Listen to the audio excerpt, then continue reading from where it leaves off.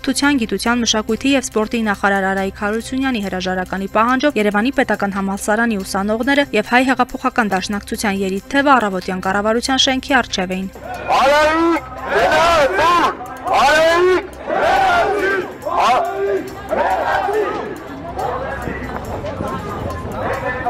Մեր պահանջը մեկն է, մեր օրակարգում մի կետ է, Արայիկ Հարությունյանը պիտի գնա տուն։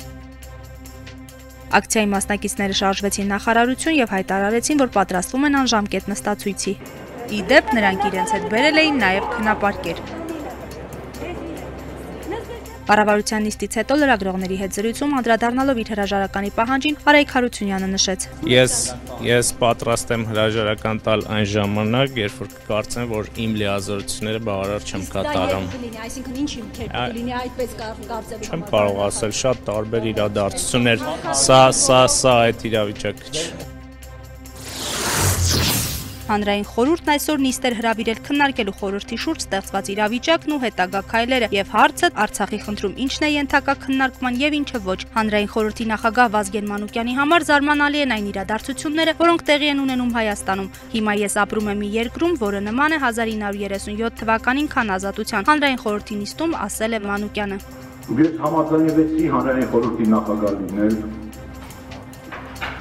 ասել ասել նորից ես հեղափոխություններին կողմ չեմ, բայց ստեղծվել է նոր իրավիճակ, որը հույս է տալիս, որ մեր պետությունը ինչ որ ճանապարհով պիտի գնա,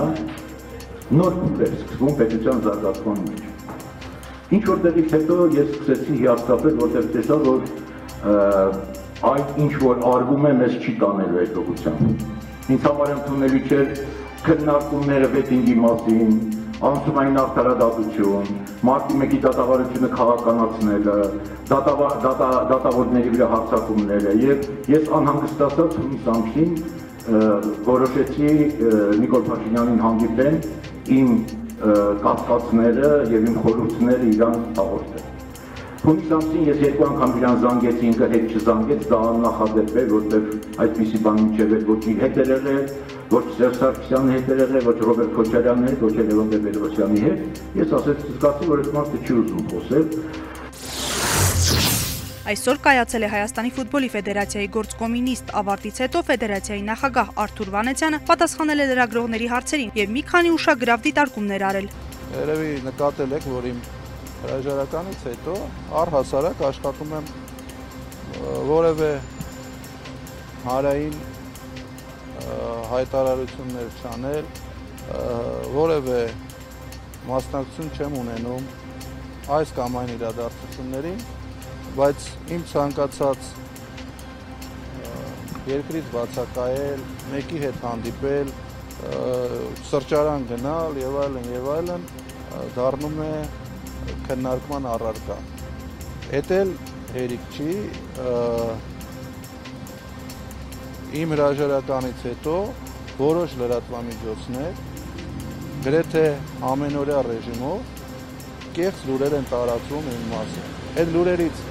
որևէ մեկը չի հաստատվել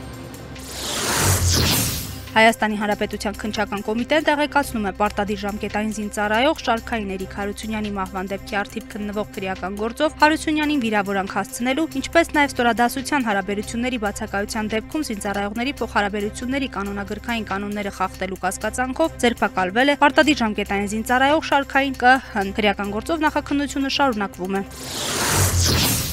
Երևանի ընդհանուր իրավասության դատարանի Շենգավիթի նստավայրում դատավոր Աննա Դանիբեկյանը մերժեց Հայաստանի Հանրապետության երկրորդ նախագահ Ռոբերտ Քոչարյանի խափանմամիջոց կալանքը գրավով փոխարինելու պաշտպանների միջնորդությունը։ Սпасել էր իմ համար դատավոր Դանիբեկյանից իստումը արդեն շուտ այնից է բարձ, որ արդարադատություն սпасելը երևի միամտություն է։ Այստեղ չկա մեղադրանք։ Գյուլնաստատի հեքիաթի հետ չեմ ուզում համեմատել, էլի ոնց կարամ ես սա համեմատեմ Գյուլնաստատի հեքիաթի հետ։ Սա կարող եմ համեմատել գեներալ լեյտենանտ Արթուր Դավթյանի հետ կողմից գրված հեքիաթի հետ։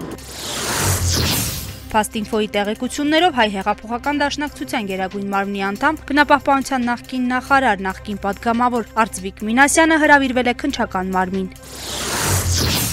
Պայկա ընկերությունը հաղորդագրություն է տարածել, որում տեղեկացրել է, որ ընկերության նորակառույց պանրի գործարանում արտադրված հայկական ընդհանուր առմամբ 21 տոննա կապույտ բորբոսով պանիրը 24 սոր Ռուսաստանի Դաշնության Վերին Լարսի Մաքսային անցակետում հարկադիր կանգնեցվելուց հետո վերադարձվեց Հայաստան։ Մաքսային անցակետի աշխատակիցները բանավոր հայտնել են ընկերության բեռնատարի վարորդին, որ չեն կարող բաց թողնել պանիրը Ռուսաստանի Դաշնության տարածք եւ հետ են ուղարկել բեռը Հայաստան, քանի որ ստացել են փորձաքննության արդյունքները, որոնց համաձայն պանրի ցակման երկիր նշվել է Հայաստան, Առաջավոր Ասիա, Հարավարևելյան Եվրոպա։ Ըստ ընկերության ցակած խնդրի մասին առաջին իսկ օրվանից տեղեկացվել է Հայաստանի Հանրապետության էկոնոմիկայի նախարարությունը, որն աշխատում է խնդրին համակարգային լուծում տալու ուղղությամբ։ Խնդրի մասին նամակ է ուղարկվել նաև Եվրասիական տնտեսական հանձնաժողովին։ Հայաստանի Հանրապետության վարչապետ Նիկոլ Փաշինյանը եւ Վարգավաճ Հայաստան խմբակցության ղեկավար Գագիկ Ծառուկյանը մասնակցել են Կերամիսիա գործարանի բացման արարողությանը։ Նախնական ներդրումները կազմում են 30 միլիոն եվրո եւ ենթադրվում է 500-ից մինչեւ 1000 աշխատատեղ։